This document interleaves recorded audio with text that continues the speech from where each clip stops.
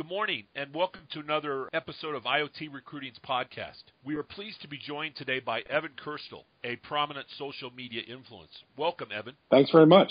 Evan, I'd like to get your take on the social media as it stands today. I know you have your pulse on the market pretty good. Could you give us an idea of how you think it's changed and how it's really the place it has in terms of the, the, whole discipline right now? Yeah, well, social media is now synonymous with the internet. It is the internet. It's the way people now uh, communicate, collaborate, consume content, inform each other, uh, express po- political views, you know, engage in commerce, et cetera, et cetera. It used to be some sort of thing that was viewed as kind of a fad or, or perhaps uh, some other layer or application of the internet. And I think now we all have come to realize through these platforms and services and applications that, that social is the internet it's influenced everything, not the least of which is the way we search for jobs, the way we search for employees. Do you think it's it's made the task easier or more difficult according to those that we've seen? I think both.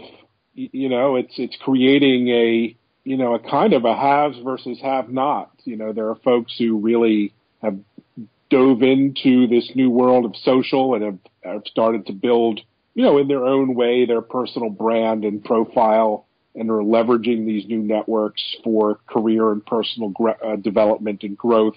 And they're winners. And then there are unfortunately a lot of losers in the sense that, you know, they're not leveraging these new platforms even at a basic level like LinkedIn and relying on traditional techniques like resume blasts and, uh, you, you know, frankly, uh, j- just, uh, third party recruiters and who've missed, you know, this wave, this opportunity. So it really is kind of a bifurcation of, of, of winners and losers, I think. And how much do you think it's changed the way we interact with our clients and our companies in this world today? Yeah, I think I think it's changed everything, and, and we're only in the beginning, of course. So it, it will continue to evolve and disrupt and change. You know, there's there's now a level of intimacy, uh, you know, personal, professional intimacy human to human, you know, intimacy in all aspects of the internet, whether it's the employee employer, whether it's the hiring manager and the employee, you know, whether it's networking with with uh, other employees and companies. There's a level of of of direct contact and engagement, intimacy that just hasn't existed. And um, that's changed the way recruiters hire. It's changed the way you find a job, and uh, you know, it's put everything on the table you know, in terms of our professional lives, our backgrounds, our personal lives. And so, yeah, what what a change from even two, three, five years ago. There's a lot of talk today about personal branding and related to recruiting, and you know, not only from the company side but from the individual side.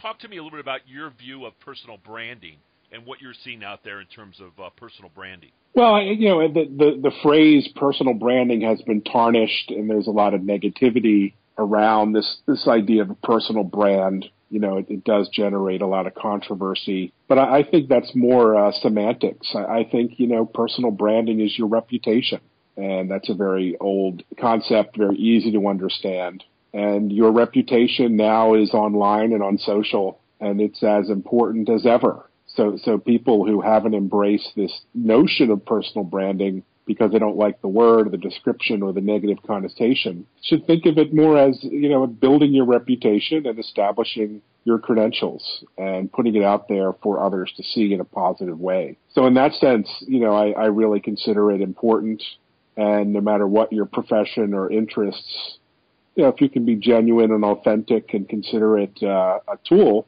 uh, and not necessarily boastful or or deceitful, I think there's a big there's great value in it, no matter what you're doing, what what industry you're in, what your profession is. Do you think branding makes it uh, easier or more difficult to recruit when you use social media as part of that? What have you seen out there in, in the marketplace? Well, I think it is the way to get noticed, uh, personally, professionally, and by the way, with recruiters and hiring managers directly. So if if you're not out there with you know a great LinkedIn profile, you know, a presence, a blog of some kind uh, that highlights your talents, it's going to be that much harder. I mean, the key is to have recruiters, employers, clients, business partners find you. And, you know, and the only way to do that are through, through these new platforms. And so it's really, it's really important. I mean, it's, uh, it's not something you can avoid forever. I mean, it's it's something you want to start working at today. What have you seen out there in terms of companies uh, like best practices or examples of things that are companies that are doing that are new and unique and maybe a little bit different than the normal thing that people are doing? Do you have a couple examples of that you could share with us? Yeah, I think there are companies that are doing it well, like companies like IBM or Salesforce, you know, very big companies are recruiting really armies of of employees as sort of social ambassadors, you know, cultivating and nurturing, encouraging their employees to be social, you know, with some policies and procedures, best practices on the back end. You know, but that you know, the employee as an advocate, the employee as a, you know, an ambassador on social networks is a pretty powerful tool and companies, you know, big companies are starting to recognize that and embrace it. You know, some companies aren't, and I think they will lose out in the long term. Uh, and then, of course, there are smaller companies or startups who, who are using social as a tremendous competitive weapon. You just look yesterday at what happened with SpaceX. Of course, beyond the, the brilliance of, you know, sending a rocket to Mars, there's all the uh, the the free media, the you know the the earned media they got for, through their efforts uh, and focus on the brand that'll pay off in spades. So yeah, there are a lot of companies doing it right, and sadly, a lot of companies not doing it at all. If you would kind of look in your crystal ball and see what kind of changes we'll see in the next couple years, what would you say to someone in terms of what the landscape will, will be like two years from now, and how that'll be different than today? Yeah, I, I'd say it's it's really more of the same. You know, engagement, participation in these social plat- platforms is high it, will be even higher, uh, and and younger and older, you, you know, and as more you know different segments and communities, geographies globally uh, participate and engage on social, and you know with with you know the networks we have now, much more uh, video and interactivity, and uh, you know AR and VR coming into the social construct. So it'll be a much more immersive and, and interesting space even than it is today where do you see artificial intelligence and VR playing its part uh, in this area, Evan?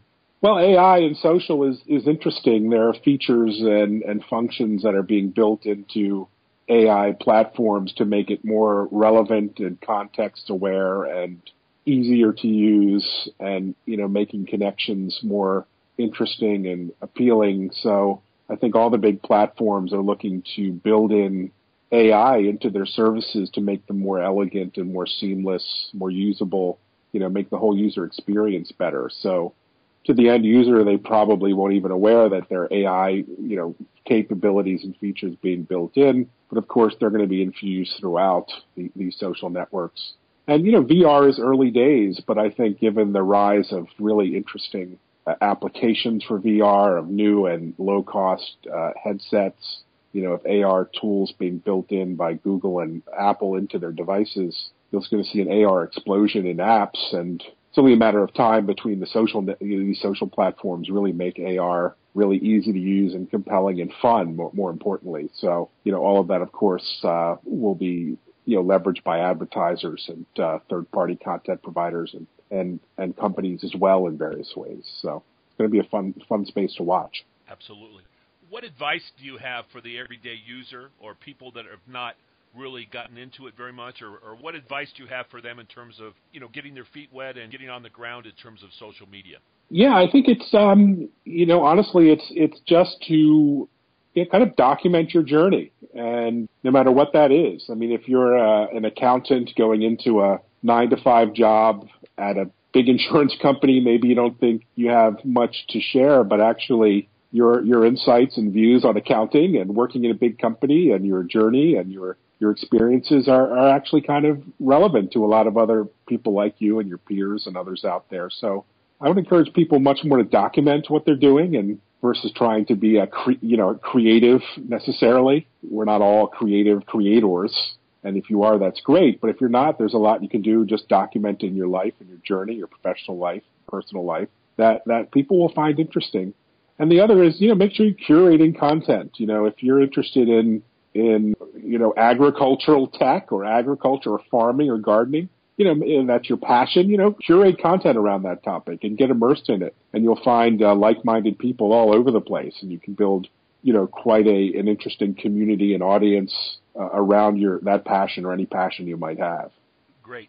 Well, Evan, thank you very much for your input today. We appreciate it very much. We look forward to continuing to follow you on social media and see uh, kind of where, where this all turns up. Thanks very much. Thanks for the opportunity and great great catching up.